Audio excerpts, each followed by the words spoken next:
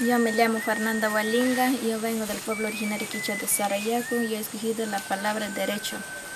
¿Por qué? Porque nuestros derechos de las mujeres han sido violentados por, por las grandes empresas transnacionales.